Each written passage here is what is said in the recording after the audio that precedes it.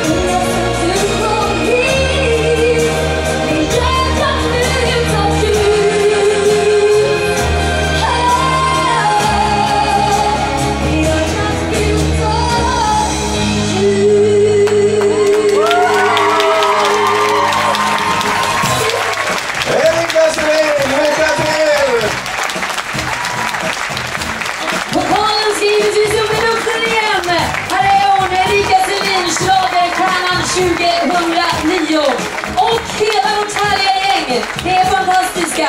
Vi tar fram finalisterna igen här och så får ni ställa er bredvid Erika. Vi måste ha bilder och vi vill gärna ha med alla på bilderna också.